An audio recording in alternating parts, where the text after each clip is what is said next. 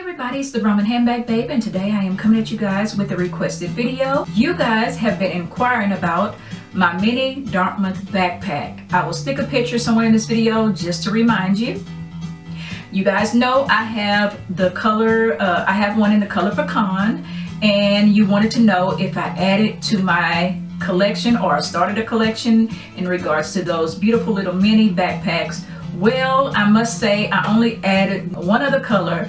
I've been wanting to get the largest size Dartmouth backpack so I can do a compare and contrast because you guys know when Brahmin has like a mini size version of a particular item that sometimes the features could be a little bit different and I was curious to see what is different between the mini uh, Dartmouth backpack and the largest size. Uh, so without further ado, let me just uh, show you the two that I have. But first, let me say thank you to my subscribers. My new subscribers, welcome aboard. Shout out to my Instagram and Pinterest family and thank you guys so much for the inquiries. Keep them coming, keep them coming, keep them coming. Okay, guys, so this is the ones that I have. You guys know I have the pecan one here. I added the toasted almond, and these are the only two that I have. As you can see, I haven't worn this one yet.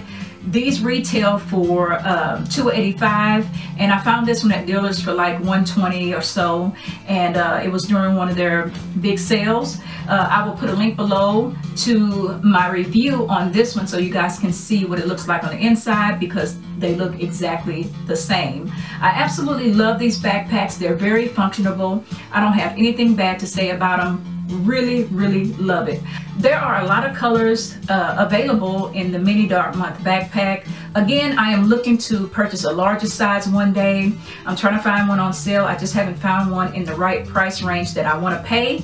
Uh, but when I do please look out for a video because I have to do a comparison between the two just to see how different they are or is it the exact same thing just a mini version.